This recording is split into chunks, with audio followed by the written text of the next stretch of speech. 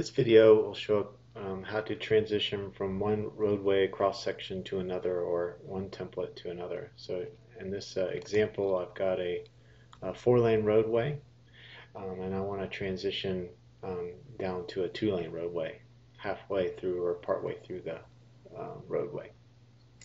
So to, if you take a look at the road you can see that its road template is curved four lanes and I just want to modify that um, for a portion.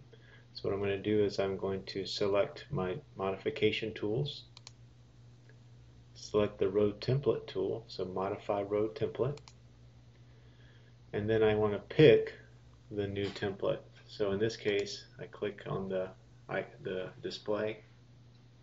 I'm under the four lane folder, so I'm going to go back up to the road category or folder and then into the two lane and I'm going to select the appropriate template. So in my case I just want to use the curve two lanes.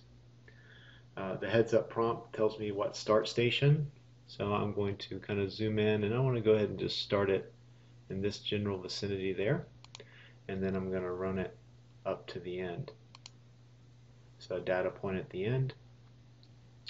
It processes it and if I take a look you can see that it's transitioned it from four lane to two lane.